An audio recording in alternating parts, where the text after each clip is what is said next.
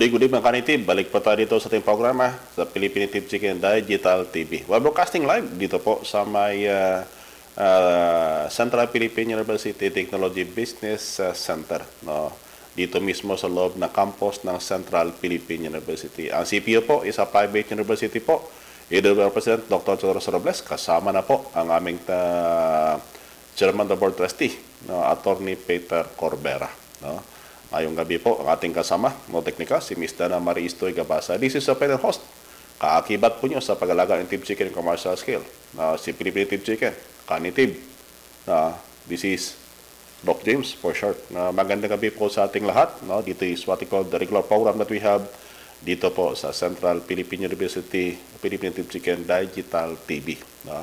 As we have promised po, no, every uh, Wednesday and uh, Friday, No, this is our regular program. No, kaya lang para mas mapatindi pa natin no, ang uh, ginagawa natin no, to help more of the racers. No, we'll be doing what we call the series of uh, lectures. No, na kung saan po we'll be presenting topics related po sa pag-alaga ng tip chicken and commercial scale. No? Uh, tandaan po niyo palagi. Sa hindi pa nakapag-follow sa ating page, no, kindly click the follow button no, para at least no, kahit paano po every time that we have this types in program, no, you will be notified by our social media platform. No? At saka, uh, if you think this program is informative, no, pakishare naman po sa mga kilala po ninyo na sa tingin po nyo na makatulong po ang uh, Central Philippine University. No, this is one way that we can uh, share more information sa ating mga native na kung saan po uh, kailangan ng tulong technical no, tungkol sa pag-alaga ni Chicken in commercial scale. Now, this program no, is a uh, one-hour program na kung saan po no, will be featuring some of the uh, uh, videos that we have no, para at least no, kahit paano po uh, makatulong po sa inyo. No? Uh, ngayong gabi pag-usapan natin mga kanitib. This is what we call the uh, uh, production protocol that we developed dito po sa Central Philippine University na kung saan po pwede po rin nyo magamit yan no, if you're planning na mag-alaga po rin team chicken in uh, commercial scale. Na, kaya nga sabi namin, it will be done in a series. No, yung kung bakit bantayan po ninyo para at least na pag uh, sa mga nakapalo kasi no, uh, uh, makikita nyo every time that we have this uh, program, no, you'll be notified by our social media platform. No, we'll be running for about an hour. No? Uh, hindi po natin ma-accommodate po ang uh, mga tanong po ninyo no, sa ngayon. No, paki-reserve lang no, para at least no, uh, hanapan natin ang proper fora or time na kung saan po uh, sagutin po natin ang mga katanungan po ninyo. No. Uh, this is to give more time no, on the lecture series that we have na para at least mas uh, marami po matutunan no, ang ating native dyan no, uh, tungkol sa pag-alaga ng native chicken in uh, commercial scale. No, yung bakit ka native If you find this more informative, pakishare po naman yan no, sa inyong uh, platform para makatulong po tayo. Sa mga vloggers po namin, no, please. No, if you think that the information that we have no, is informative, no, uh, you can use the information dyan sa respective pages po ninyo para at least no, mas napalawak pa natin no, ang piling puntahan po ng impormasyon no, dito po ng ating ginagawa. No. And then sa mga gusto bumili ng produkto ni Philippine Chicken, no, makikita mo niyan nyo sa may ating uh, dashboard no? Ang number at saka yung product no? You can click that number para at least no? Uh, uh, if you would like to have no? Uh, ito kasi ang ginagawa ng uh, uh, Philippine Team Chicken na kung saan po we develop the product and we market the product para at least maintindihan po namin no? Ang saloobin ng bawat uh, racers no? And uh, hoping na kung saan po No, uh, we're looking forward that in the days to come, in the years to come, we can commercialize the product all throughout the Philippines no, para at least mas marami po ang maratingan no, ng ating programa. No? At saka sa ating mga government institutions, local government unit that would like no, to uh, avail our services, especially on the personalized learning, no, you can contact uh, Ms. No, for available uh, schedule. No, para at least kahit paano po, no, matugunan po natin ang inyong pangailangan, no, base po sa inyong pangailangan. Hindi po sabihin, ibig sabihin na kung ano dito, and that is why we call it a personalized dahil no, ang may impormasyon diyan no, talagang pang personalized base sa pangailangan po ninyo. No. So, ngayong gabi, we'll be discussing no, uh, importanteng bagay. No, growing native chicken for market. No, ibig sabihin po ng pagpalaki natin yung manok no, para for market. No, and then we will be discussing some of the basic cultural management. No, I know that I could not uh, finish the lecture no, in just one setting. Baka abutin po tayo na medyo matagal-tagal ng konti. But uh, uh, i-detalye na natin uh, para at least kahit paano po masundan po ninyo. And then uh, you can download even the videos that we have no, kung sa tingin po nyo, no, pili po nyo balik-balikan uh, mga videos na yan na nakatulong po sa inyo. And uh, i-share nyo sa iba, no, the better it will be. But bago po tayo magpatuloy, no, konting patalatas muna mula sa The Pilipinative Chicken.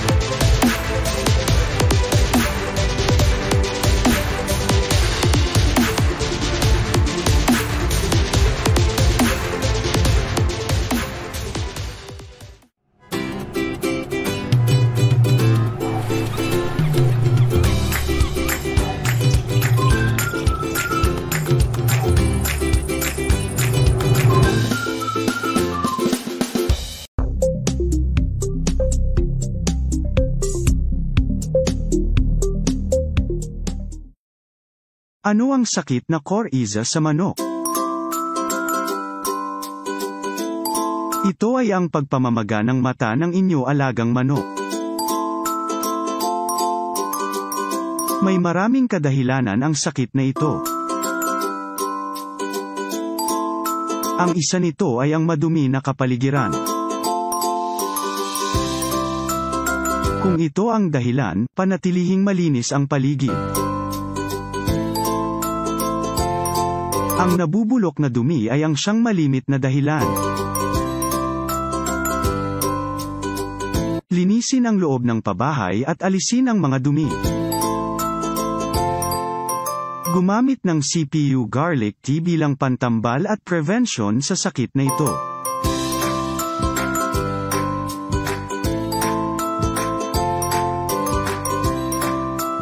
Sa mga malalang kaso, gamitin ang CPU garlic emulsified concentrates. If you're in need of alternative medications for your native chickens probably have a lot of questions, such as, will it is more effective to control infections? Does it improve the immune response of the flock? Or even, how can it help the consumers of the processed native chicken? We have years of experience in raising native chickens in thousands of numbers and using our developed phytomedicines. Phytomedicines are alternative medications derived from plant extracts that have undergone a series of studies to establish the standard processing, concentration, and packaging for it to be users friendly. We are introducing the CPU garlic tea, a new innovation that helps to prevent and control infections due to Staphylococcus aureus.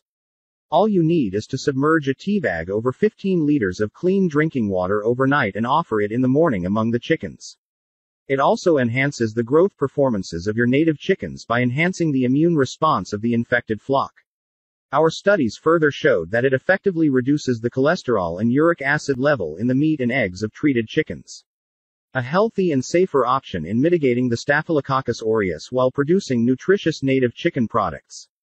So what are you waiting for? You could contact the given numbers for more information and orders. Balik po tayo mga kanitib sa ating programa sa The Philippine Chicken Digital TV. No, ngayong gabi po, pag-usapan natin po ang uh, kung paano mag-alaga ng native chicken. No, para po sa market. No, growing the Philippine chicken no, for market, the production protocol. No, this is the title of our uh, uh, lecture series po no, ngayong buwan, no, sa buwan ng Oktobre po. No, uh, para po at least ating mga-native na gusto sundan po ang ating nagawa dito, no, you can have be uh, always join in us no, every Wednesday and uh, Friday uh, evening po, 7 to 8. Now, this is what they call the one-hour lecture series that we have for the month of uh, October. No, if possible po, na uh, pakig, pa, pakinggan lang muna natin. No, I could not accommodate questions and uh, we'll be finding uh, exact time na kung saan po susunod na lang na pag-usapan natin ang mga katanungan po ninyo. No, uh, this is what they call the promise that we have na kung saan po para makatulong sa ating mga research no, all throughout the country no, in preparation for the commercialization of Philippine chicken na this coming 2026 na kung saan po uh, baka ikutin na namin ang buong Pilipinas no, sharing the technology no, and not only the technology but the production protocol by itself no, and leading to what they call commercialization. No, actually, we have uh, we're now doing now some of the trials now and how it will be done now in various uh, regions now to protect also our racers and even the interest also of the Philippine native chicken now uh, being the research station for this type of uh, local chicken. Now, ngayong gabi, I will be presenting it into what they call the uh, PowerPoint presentation. Tanda pa natin, uh, we are only one hour now for this lecture series and uh, hoping that masundan po nyo. And then if you found na ang ating presentation po is uh, informative, no, pakishare po dyan sa respective pages po ninyo para at least kahit paano po makatulong po tayo sa mga racers that would like to learn also on how to grow the native chicken no, using what they call the PNC production protocol. Ang papalaki po ng manok natin, no, intended na talaga for what they call the market. Ibig sabihin po, uh, this the production protocol will start from the day old na papunta po dito mismo sa marketing. Yung ko bakit kung makikita po ninyo sa aming page, no, uh, we already have no, 70 to 75 na po ang uh, growing uh, period natin no napikit natin from the 5 months no hanggang bumaba na dito sa what we call the 70 to 75 days. And uh, we're able to save no more than a kilo of feeds no, kasi noon umabot yan ng mga 2.9 to 3.2 kilograms bago makakuha po ng uh, 900 or 850 grams to 900 grams na 3 months of uh, age no. Ah, yan kasi ang isa sa nakita natin no. Uh, one thing for sure is that uh, this is what they call the technology that we develop. Dito po, ang manok po sa CPU. No, ang kanyang parental lines yan is what they call the Bisaya and the whole native chicken or what they call the Western Visayas. No, yung kung bakit na sa ating maka-native, ito po yung uh, commercial production technology. No, hindi to pang backyard, yung kung bakit that uh, iba naman kasi ang uh, proforma no? If we'll be discussing about what they call the uh, backyard uh, scale of uh, production no? Uh, actually the what is the purpose no of growing native chicken for market no? No ito kasi ang palagi na tanong natin no? Ah, ano ba ang kahalagahan no, sa pag-alaga ng native chicken no and then uh, bakit ka mag-alaga ng native chicken for market? And uh, what are the possible product no na pwede po ninyo maibenta no? Ah, actually tat, marami po ang possible product na pwede po ninyo mabenta kaya lang it depends on the racer no? Kung ano ba ang dapat i-adapt nila. Batandaan natin that uh, ang pinakamalaking level of profit is not on the, the selling of the live chicken, uh, but it is on the processing. No, uh, the, the dress and even what they call the ready to eat and the ready to cook, uh, uh, ready to eat and ready to cook uh, native chicken. Ang makikita po nyo, uh, actually in the uh, preliminary uh, undertakings that we have in the commercialization of the technology and production no, developed by the Philippine Native Chicken, nakikita po namin na if raising by the thousands of uh, hens, no, ang palaging sabi ng mga racers namin, doc na kayo na bahala magbinta dyan? yung kung bakit na kung maramihan yung manok po natin, ah, walang problema po sa bintahan yan. No? Ah, walang problema kasi yung nakita namin the break event that we have no, if you want to about uh, to earn, uh, earn about mga 35 to 40,000, no, 30 to 40,000 per month, dapat yung inahin natin hindi sa bababa by uh, about uh, 150. Now, possibly in the next uh, few months, no, we'll be discussing also the investment uh, para at least makikita po niyo. But right now, now we'll be focusing more on the uh, technology by itself. Uh, yung ko bakit palagi sabi namin Mr. na if you are Ray will be raising chicken, na ang intention mo lang is for uh, as a stress, stress reliever, no, uh, don't worry about the technology. You can raise it in a backyard. No, however, if you're raising native chicken in greater flock size or greater number, pagkatapos, no, ilagay po nyo sa parents, mawa po kayo sa busa po ninyo. Na, uh, hindi ganun po ka, ka feasible ang project. No? Uh, especially that the survival rate of chicken ano, under parents condition no, sobrang baba. No, that is about only 40%. So the tentative product that we can produce here is what they call the live chicken. Uh, live chicken na yan, uh, meaning buhay po yun, na at saka ibenta po ninyo sa mga processors o di kaya sa middleman.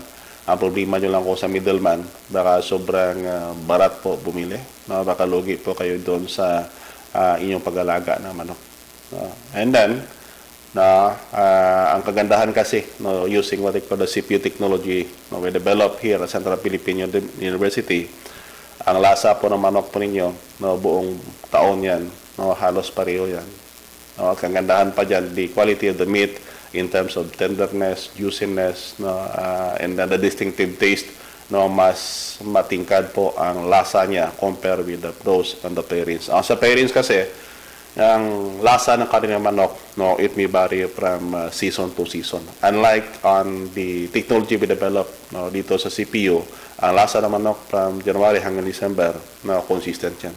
So, ibig sabihin, kung ikaw ang processor and then uh, you wanted na kung saan no, ang mga kumakain sa inyo, no, uh, hahanapin talaga ang pinaka uh, unique doon sa inyo, no, uh, you can use what they call the uh, CPU native chicken. Sa mga malapit po dito sa Central Philippine University, no, this coming November, no, we have a stable supply of about 300 na dressed native chicken.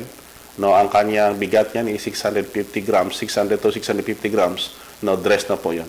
Uh, uh, out of the 300, no, ang 50 po na call na, no, and then uh, meron pa rito transaction. That's why that uh, if you're interested and you are a processor malapit dito sa CPU, na puntahan na po kayo dito sa CPU para ma-book ninyo. This is the stable supply.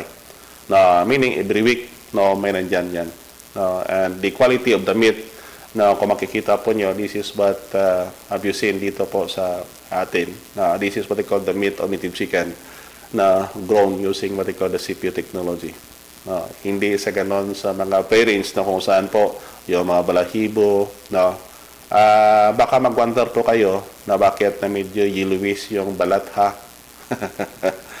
Ginagamitan kasi namin yan ng uh, turmeric emulsified concentrate. Na, uh, alam nyo kasi mga native as we grow our native chicken no, dito sa CPU. Ang mga pantambal na ginagamit po namin, no, those are what we call the plant extracts. Yung po bakit na pag dinuto nyo to, no, uh, bawang, no, ang lemongrass, even the turmeric po, uh, nandyan na yan sa loob ng katawan ng manok. Anong ibig sabihin? Ibig sabihin po, uh, yung customer po ninyo, no, uh, safety sila. No, because walang halong synthetic na antibiotic, no, antibiotic dyan, and then yung growth promotant natin, no, alam niyo mga native, the garlic by itself, no, the garlic by itself, na is a natural growth promoting compound. No, because no, sobrang dami kasi ng presensya ng what they call the uh, organosulfur compound or what they call the amino acid dyan mismo sa garlic na yan. And uh, we are using what they call the garlic emulsified concentrate. Now, but yung yellowish na yan no, is attributed on sa may uh, presensya presensya po ng turmeric. Alam niyo ba ang turmeric is anta, possessing what they call the anti-cancer property. And beside, no, sa mga medyo uh, kulang po ang similya, no, at saka yung itlog hindi ganun kapertil, no, uh, you can use that to this turmeric. And what we have done dito sa CPU, no, we develop a chicken na kung saan po all the herbal plants that you are using, no, ah, yung iba kasi sa atin is that na gumagamit po tayo, bumili po tayo ng turmeric capsule, no, garlic oil, and even what they call the uh, lemongrass uh, tea. Ah, huwag nyo nang gamitin. Nandito na lahat yan sa manok ng Central Philippine University. Ayun ko bakit sabi namin is that na pag gumamit pa kayo ng CPU na manok no, sa pagpuluto nyo, sa pagkain nyo, no, you are sure na yung manok na yan oh, is of high quality. No, yung ko bakit na uh, we developed this one, no, two years of uh, researches and we have the complete line of facility equipment na kung saan po uh, guided us no, para may palabas na itong teknolohiya na to. Now, this is what they call the proven technology dito po sa Central Philippine University. And that is why that uh, uh, anong uniqueness niya no over those on the parents. Alam niyo mga native ang hinahabol niyo lang doon sa parents is in terms of what they call you can save in terms of the feeds. Pero hindi niyo consider ang tigas ng karne niya, ang survival rate na sobrang baba, no, ang lasa ng karne ng manok nyo na hindi pariyo sa buong taon. Okay lang yan if, uh, uh, paano ko nasabi na hindi sa parehas? Na it is because that the presence of scavengeable feed resources on the summer is different do- doon no, during the rainy season. Yung kung bakit na ang lasa ng manok nyo nag-iiba yan. And that is why at Central Philippine University, no, uh, yung kung bakit na we are a research station and throughout the Philippines na possibly we are the one na kung saan na continue to do researches on commercialization of fowl. But the commercialization of fowl, we develop a distinct characteristic on it na kung saan po it can help the racer now because the technology we develop at Central Philippine University no actually yung pinaka last na namin for the full blast commercialization is the development ng Philippine native chicken breed na talagang breed na yan. And that is why that we posted some of the molecular tools that we'll be using no on to a to help us no in terms of what they call the marker assisted selection. Ang tingin kasi namin diyan mga native that maipalabas na natin yung manok na yan. Na sabihin natin we are proud of it. This is a Philippine developed breed of chicken na kung saan po it possesses what they call the functional values. Na pag ginain mo tong manok na to na hindi mo na pantambal mo na na nandoon na mismo sa lasa ng manok po ninyo. And this is what we are doing here at Central Philippine University. Yung kung bakit ko makikita ninyo, we have various products derived from the plant materials. And those are the plant materials na yan po, dumaan po yan in terms of the researches that we have. Yan kasi ang diferensya if there is science behind it. na kaya lang naging hassle sa amin na medyo hindi namin mapabilis yung proseso because that we are a private university. No, in terms of budget, na kaunti po yung budget namin and then minsan mahirapan pa kami to compete no, with the state university para po sa pundo because na iba kasi ang private. No, even the accounting procedure that we have, no, yan minsan ah, nagiging uh, auditing procedure, accounting auditing procedure namin is different from the government institution. No, but in behalf of it, no, patuloy pa rin kami sa ginagawa namin para po makatulong sa lahat ng racers na native chicken in the Philippines. Si Philippine native chicken po naiwala that there is money in raising chicken. And that is why that we keep on doing this one, no, kahit paunti-unti lang, paliit-liit lang, but uh, we are consistently doing this uh, para po sa ating lahat. Uh, I firmly believe na kailangan po natin ito. Because it is locally developed and even the feed material that we're using now, mostly of it are locally available. Alam niyo makanitive under the Organic Act, using of the amino acid isolates, no, methionine, lysine, bawal po yun. And we develop a alternative source, a natural source of it, na kung saan po na-incorporate na mismo sa patuka natin. Alam niyo makanitive, too much use of methionine. No, that is what they call the one of the essential amino acid. Ang nangyari yan, it create problem in terms of what they call the liver tumor. And that is why that the organic no, is promoting no, on the use of the alternative source, and we develop it. We are the first in the Philippines to develop that one, and we're using it on our chicken. In terms of the use of antibiotic, bawal din yan mga ka-native. And that is why, na kung saan, no, we develop even what they call the different phytobiotics or what they call the plant-based uh, uh, extracts. Dumaan po yan sa various procedure. Ang nakita namin na ang lahat-lahat ng procedure, even their published procedures on how to process it, ang isa sa nakita namin na mas effective is on the use of what they call the emulsified or what they call the oil base, emulsified concentrate. Yung pure juice extract, we tried it, na, and then what they call, but there are some plants na halos no, ah, hindi ganun ka-epektibo. But if you'll be using their essential oils, no, and added it with some of the excipients that we have, no, halos na yung effectivity niya means actually kung tingnan mo at a lower dose, no, they are very competitive when it comes to efficacy. And that is why that we are sharing this information para at least alam nyo makalitive, mas maganda kasi na kumain po kayo na kung saan po yung manok na kinakain po ninyo, no, libre po sa no, mga synthetic chemical na kakasama po sa inyong sa ating kalusugan. Mas maganda kasi makanitive kung medyo mapahaba na ba natin ang buhay. And then, mas maganda pa makanitive na alam niyo, even though the price of this chicken no, come in a premium, but yung pagka-premium niya, hindi ganun ka-premium compared with those available no, on the wet market. Na, yung kung bakit na sabi namin na at least elements-wise, no, sakit-wise, no, bakit itong manok kasi pag ginain mo, it used to promote na to boost your immune system. Now, because of the various uh, input that we're using, we develop that is all plant-based and it will go what they call the scientific uh, studies. Alam niyo mga native, this is what I call the uh, procedure that we have no, and uh, hoping na masundan po ninyo.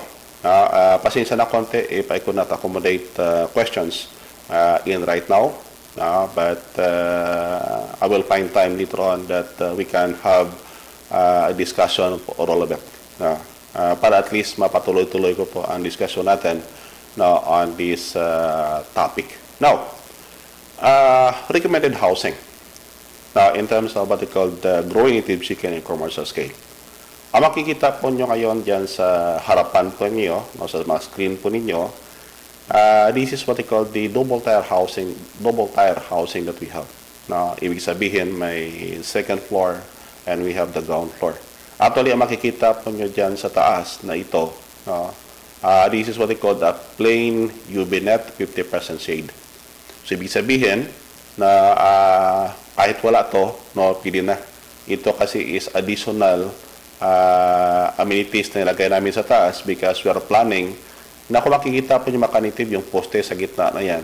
No, we are planning to plant it no, uh, to integrate with what integrate with other uh, crops sa loob mismo. And we need this uh, shade para at least no, baka sa dating na panahon po makikita po nyo we will keep on posting you no, on the development because we are planning na kung saan po this is what they call the internet on thing na kung saan po uh, we'll be using what they call the drip phonics no the drip phonics this is what they call the technology no uh, we develop here at Central Philippine University na kung saan po no pinagaan pa namin and then it is very less in terms of the utilization of water and efficient because it has what they call sensor na kung saan po lahat ng nagpapatakbo dyan later on is using what they call automated na.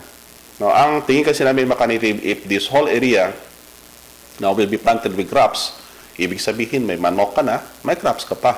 But the crops that we'll be planting here, titingnan namin on how, now still undergoing the research, na kung saan po uh, it is more practical but uh, it will bring more income on the part of uh, the raiser or the adapters.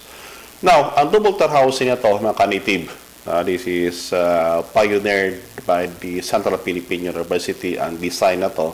And this is the proven design that we have now out of the various uh, uh, out of the various uh, design we developed uh, last decade na ito po ang nagawa namin na out of the contribution also of the parent stakeholders na kung saan po palagi nagpa-participate sa ating training and seminars and then they adopted it in respective areas and then uh, nagbibigay po ng uh, feedback dito sa Central Philippines, sabi, Philippine University. Sabi, Dok, pwede bang siguro gawin natin may konti pang revision dito, no, ganyan, ganito, kasi ganyan yan, na para at least magiging practical. Yung kung bakit na kung makikita po nyo, no, actually hindi yan ganun kalaki as you are expecting.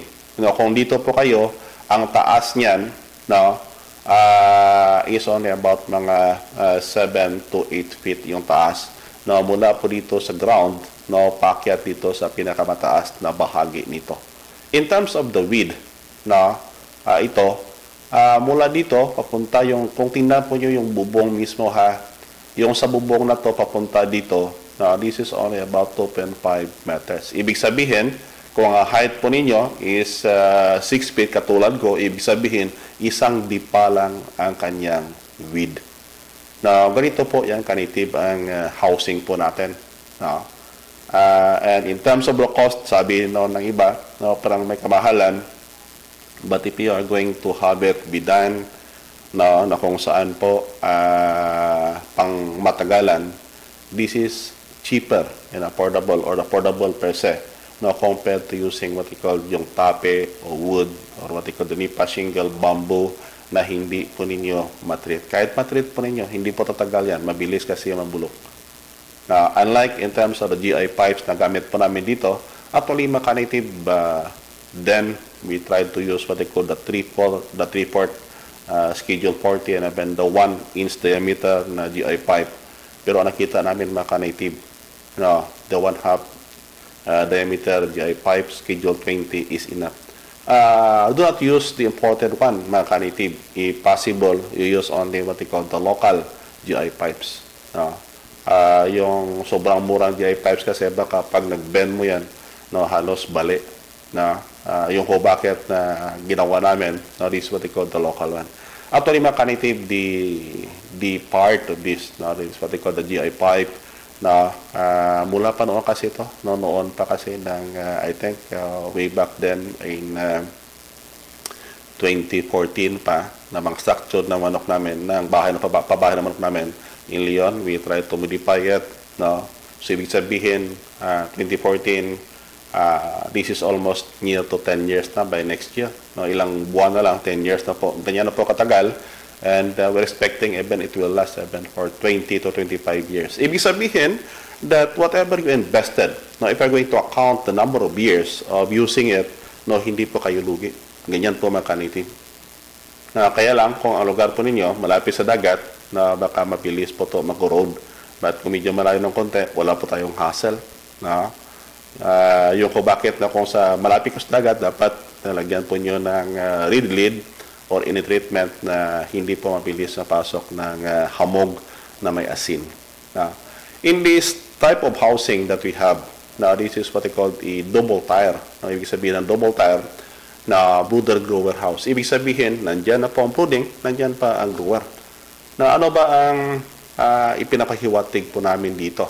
Na alam niyo mga native uh, ang pag-alaga ng manok, lalo na pag sa brooding stage yan, na masyado pong uh, siya po, the feed wastage that we experienced then, sobrang dami.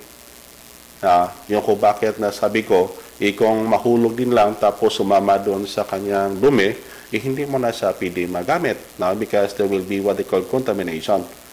And why not na gawin natin no, sa taas yung sisiw, no, on the upper part of it is the sisiw, and then nasa baba naman yung growers para at least no, ang dumi ang na mga wastage na patoka po mahulog sa ilalim na makain po ng inyong mga grower chicken.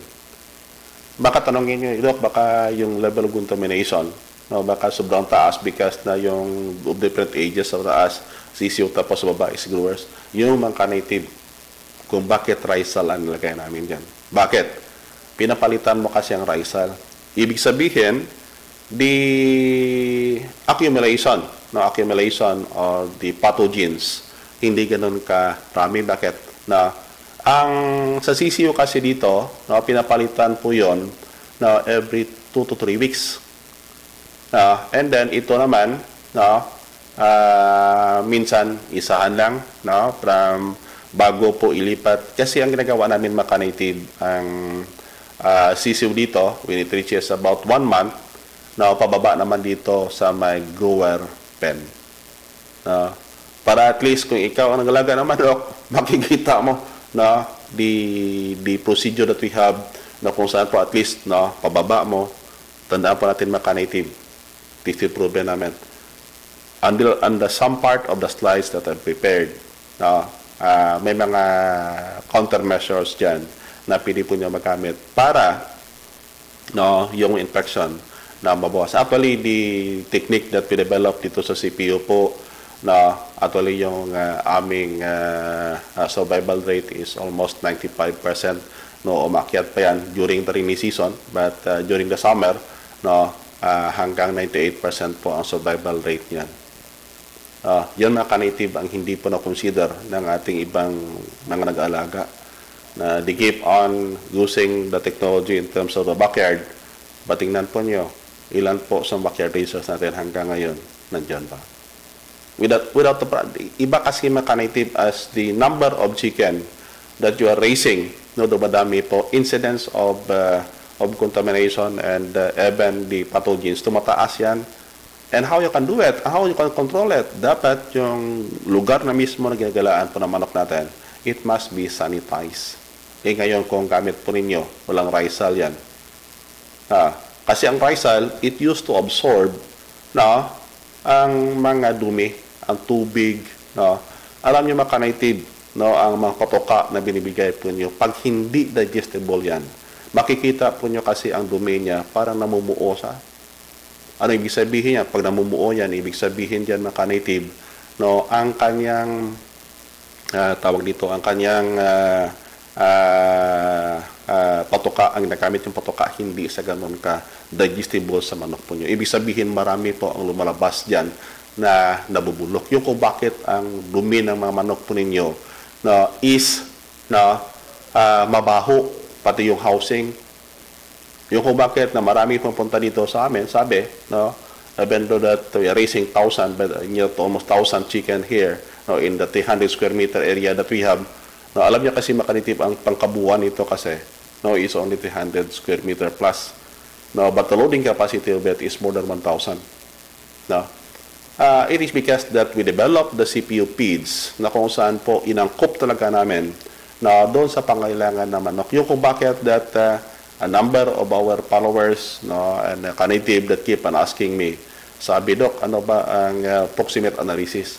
Actually, ginawa po namin hindi po proximate, that is amino acid analysis. And we even undergo, underwent what they call the digestibility test. Ang manok po, walang specific protein requirement po yun. Even 12% native chicken can survive. However, pag kulang yung amino acid content yan, pag hindi yan digestible, no, it will affect what they call the growth of your chicken. Yung ko bakit na ang nakita namin, no, we tried to develop that one para at least no ang patuka na yan i pag um, pag na, na, na, naisama doon sa risal, no hindi na mumuo, no basag yan ibig sabihin that is highly digestible. Ang upper deck kasi nito maka-native yung sa taas na to, it is really intended for what they call the brooding. Alam niyo ang brooding po natin dito, na it lasts for about 30 days. No? 30 days. And then we can extend it uh, a week pa.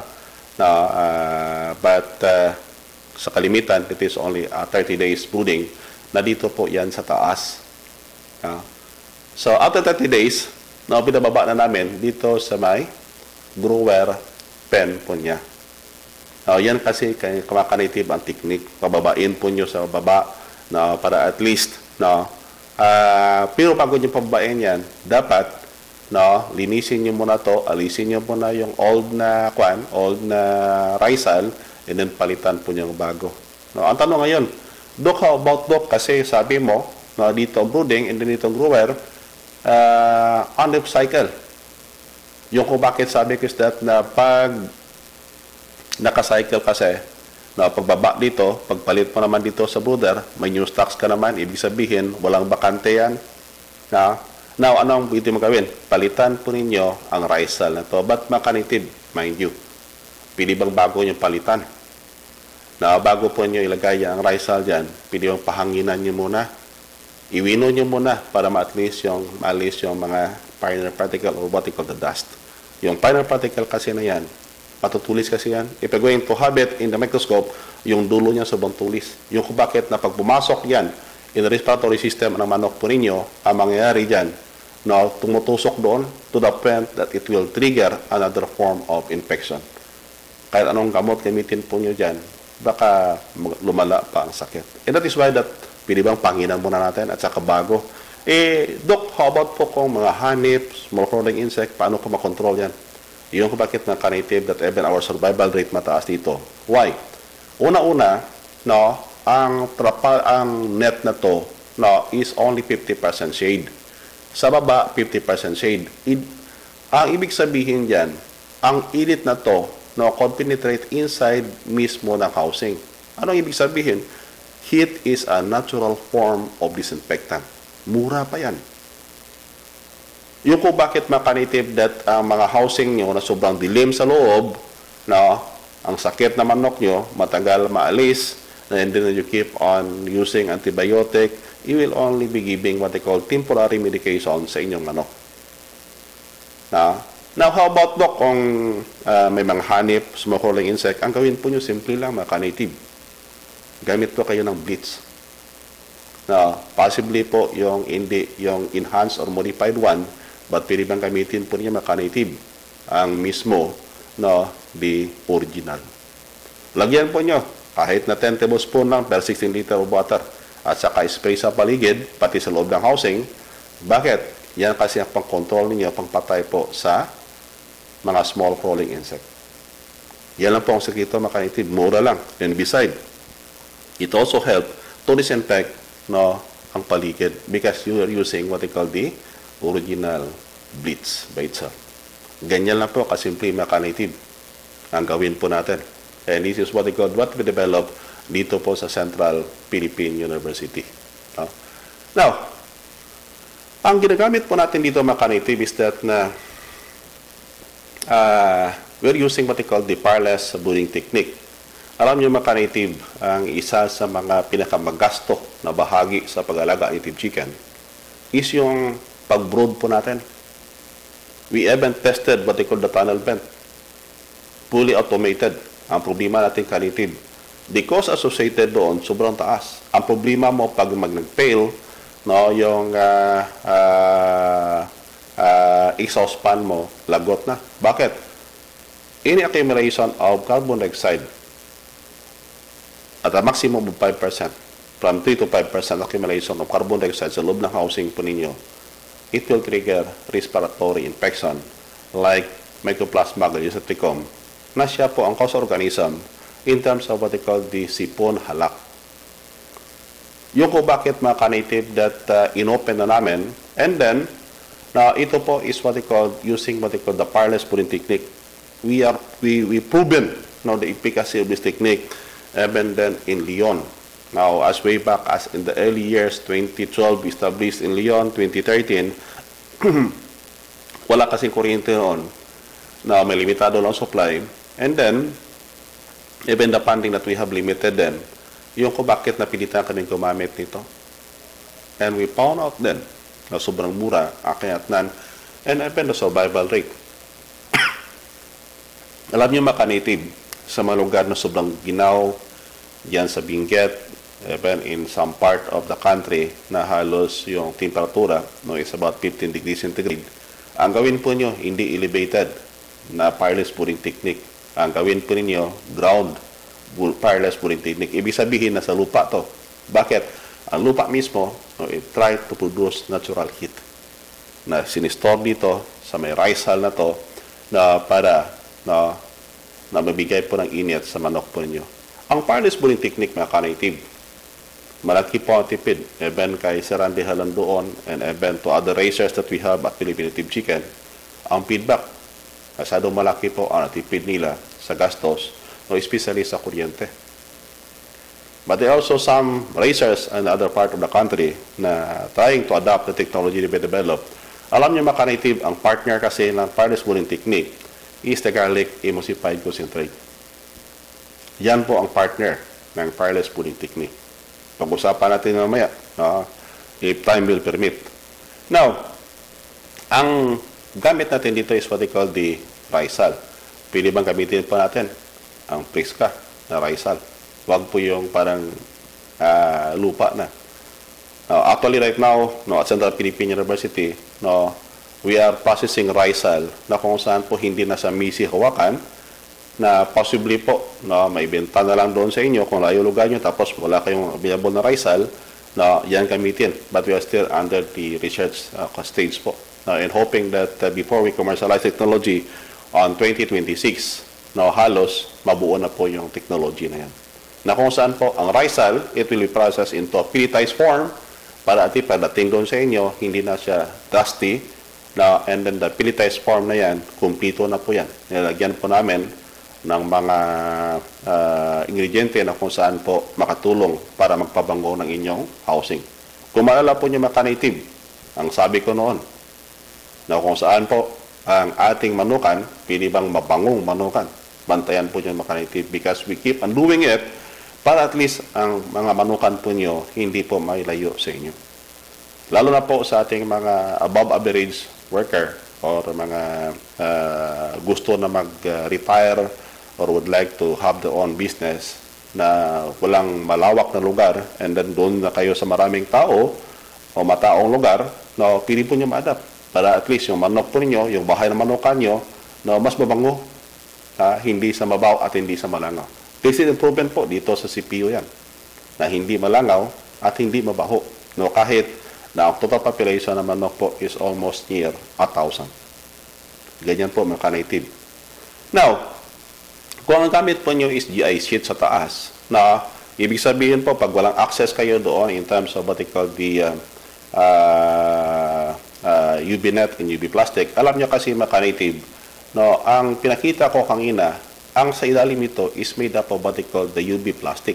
Ang UV plastic na yan po, we are using what they call 200 microns. Ibig sabihin po, medyo makapal yan.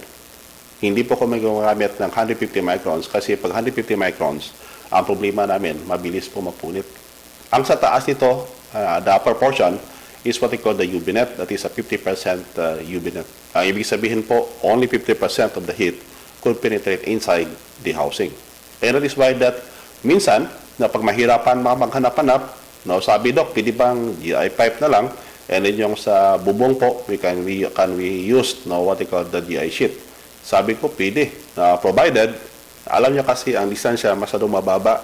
Kung ang lugar po niyo mai, masyadong mainit po, baka uh, magka-stroke yung mga sisiw. Yung ko bakit sabi ko, lagyan po niyo ng double-sided na insulator. Ito pa makikita nyo sa taas na parang silver po to. This is what they call double-sided uh, insulator. Ibig sabihin, yung fuel, ang fuel, ang uh, fuel niya po sa itaas at saka sa ilalim. Na this is to really to protect na sobrang init na makapasok no, dito po sa ating manukan because sa upper portion is mga sisiw, mga native. No, double-sided po yun. Ibig sabihin po, the way and how it protects the sisiw inside, no, sigurado po kayo. And beside, because open yung paligid, ibig sabihin, the flow of ventilation. Alam niyo makanitive bakit na sobrang baba po na survival rate nyo. Even then, together with the various uh, state university naging kapartner namin, na along with the study on the native chicken, ang nakita po namin, mortality sobrang taas. Why? It is because ang problema po hangin. Ang ventilasyon po is very critical no pag-alaga po tayo ng manok. And that is why that pwede i-open. Yung iba naman, Dok, baka sobrang ng hangin kasi lugar namin mahangin. Sa masusunod pa ating mga episode or uh, slide, we'll be discussing it. Kung anong gawin po ninyo. Alam niyo mga native, if we can reduce the cost. Yung kung bakit sabi ko is that na dito sa, sa CPU, no, if we'll be using no, CPU technology, magkano bang production cost? Alam niyo ba kung magkano production cost ng isang manok? At 70 to 75 days. Mataas na po ang 150 pesos. Ang bilihan naman ng manok dito at 850 grams, 800 to 850 grams, there is only, that is 250 po. Uh, consistent po yung price na yan mga kanitib. Ibig sabihin na you can have about a 100 pesos margin na if na you'll be using what they call the per head na using what they call the CPU technology. Yun mga ka-native ang sekreto. And that is why that we are sharing this information no, sa inyo and we'll be doing it on a series form, no, lecture series, para at least masundan po nyo. Yung kung bakit mga ka-native, if you found na yung ating presentation po is informative, no, pakishare pa naman yan sa respective pages po ninyo. Para at least kahit paano po makatulong tayo sa ating mga racers that would like to raise native chicken in commercial scale and will be using what they call the CPU technology. Alam niyo mga ka-native, sa mga lugar na kung saan no, basta malapit pang seaport, no, we could send the product no, via the nearest seaport po sa inyong lugar. Yan po ang ating promisa po sa mga lugar na kung saan malapit yung seaport. However, no, we are looking on all the possibility and working with the various organizations and individuals na darating yung panahon na kung saan po maikot po natin ang buong Pilipinas.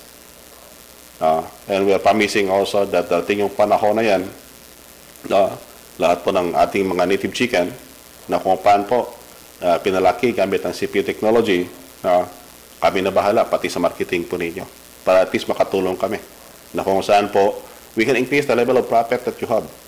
But now we are producing a quality native chicken. Yung kung bakit mga ka-native, uh, pakiantay-antay lang ng konti.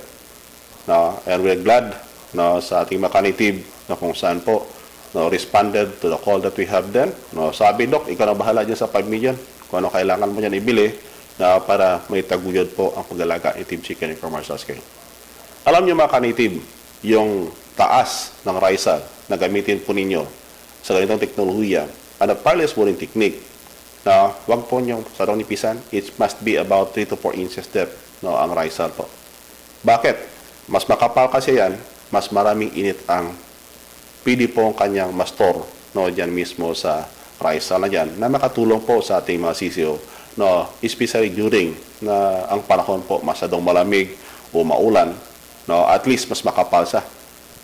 Na, yun ang gawin po natin mga ka-native.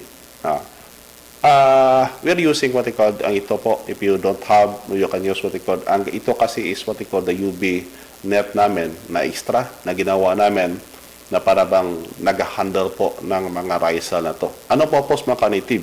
Ang purpose niya kasi mga native na if natapos ang growing season, inaalis kasi ito ang itim na to, yung UV net na yan, na ginawa- ginawang pang, ah, pang panglagyan no, ng ating risal. Ang purpose kasi niyan, no, pili po mahugasan. Ano ibig sabihin makanitib? Kung may mga pathogens po dito, pag hinugasan po nyo gamit ang sabon at saka ibilad sa araw, ibig sabihin po, malinis ulit. No, ganyan po ang teknik dito sa Central Philippine University. And paminsan-minsan po, every year, no, possibly twice a year, hinugasan kasi yung buong pabahay ng manok na to. Now, para at least yung dust particle and even some of the pathogens na dyan, no, pwede maalis. Ganyan po ang bintaha if you're using what they call the GI pipes now as the frame and we're using what they call the aquanet as the part of what they call the uh, walling po. No, ganyan po native. No, yung kung bakit na kung saan, no, makatulong po tayo sa ating mga native. Ang pinag-usapan pa natin mga native dito is more on what they call the brooding. Alam niyo mga native, as we go along, no, discussion that we have, pinapaabot na po namin ito sa inyo po, no, ang lecture series para at least makatulong na. I know that all throughout the Philippines, na maraming salamat po sa tiwala po inyo sa Central Philippine University. In behalf that we are a private institution, makita po namin ang mga design ng housing na halos na-adapt na po ninyo. We are glad to have it. Na ang kaisayahan po namin kasi dito na makikita po ang ating mga native na kung saan no, ready na mag-adapt ng ating mga teknolohiya dito sa Central Philippine University. Yung ko bakit that we are partnering no, to various private individuals and even to some LGUs, mga LGUs that would like no, to be part of this kind of project, no, uh, don't hesitate to contact uh, Ms. Dana. Now, we can do what they call the personalized learning na kung saan po we can make some modification and how it will be done now under community level. Iba naman kasi ang usapan dito because this one, no, we are doing this one para po sa ating mga mid-level racers o farmers na kung saan po may konting uh, uh, extra dyan na mga capital sa kanyang busa na pili po gamitin sa pag-alaga native chicken in commercial scale. Alam niyo mga native, the demand of chicken na sa buong Pilipinas po, hindi kaya po supplyan ng Central Philippine University.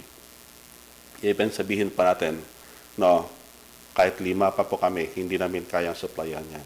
What we need is yung patulong-tulungan ng lahat ng Pilipino dito sa Pilipinas. Ako po naniniwala, si Philippine Team Chicken naniniwala na magtutulong-tulungan po tayo, malayo po ang ating mabot. And we're discussing here is what they call the industry of native chicken. And that is not the industry of the broiler and the layers. So hoping makanative na kung saan po, no, bantabayanan po nyo because this lecture series, no, tuloy-tuloy po to. No, and that is why that I'm explaining it in detail para at least kahit paano po maintindihan nyo kung paano ginagawa yan. Uh, titignan ko kasi ang mga feedback and the comments that you have. I could not uh, uh, answer it uh, uh, every day because of the bulk na, ng mga messages na papasok. But I'm trying to explain it right now para at least mabigyan po ng liwanag no, ang ating mga ka-racers. Kailangan po natin malinawagan kung bakit kanyan ang ginawa ng Central Philippine University, bakit kanyan po ang ginawa ni Philippine Native Chicken. Tandaan po niyo mga ka-native, we are serious to what we are doing. Ako mismo, doon pa nakita ko ng oportunidad ng Native Chicken, yung kung bakit na seryoso na namin para at least kahit paano po mabigyan po naman ng justice ang ating mga ka-racers all throughout the Philippines. Noon pa mga ka-native, backyard technology na. Pero problema natin hanggang ngayon, hindi dumadaming manok. It is because of those reasons. The most affordable one and the quality And that is why that at Philippine Native Chicken, we used to answer, we used to bridge the need of the farmers or the raisers at the same time the requirement of the market. Kami po ang tulay para paglutungin itong dalawa. We are a research station. We are doing business out of what we are implementing here para may pakita sa inyo na indeed the technology that we develop na have higher value or what they call commercialized value. Kailan makanative ating panahon? Medyo kaunti na. Yung kung bakit ipipound this program informative, sundan niyo po kami sa susunod naman ng episode ng ating programa. Bakit? We'll be doing it on the lecture series na kung saan po we provided the, the, the visuals para at least makita nyo, masundan nyo, and kayo na mismo magpaliwanag sa mga kilala po nyo dyan, bakit ginagawa ng Philippine Native Chicken yan. And to those who would like really to avail our other services, now don't hesitate to contact us. We are hoping na ikaw po magiging partner namin in 2026 para sa commercialization na ng Philippine Native Chicken breed as a breed. Patuloy po kami sa aming advokasya para sa lahat ng Pilipino na nagtiwala po sa amin. And even to some of our friends now in some other part of the Asia and South in South in Southeast Asia and South Asia. Now, thank you, thank you for following the Philippine Native Chicken. In behalf of the language barrier that we have, yeah, I know that your number is keep on increasing. Thank you for the trust and confidence that you have given to the Philippine Native Chicken. We could not do this without your help and without your contribution dito po. Si Philippine Native Chicken po, we are just only the vessel to explain and we are only the vessel to develop technologies na angkop po sa pangailangan ng bawat Pilipinong nag-alaga ng katutubong manok. Tandaan natin,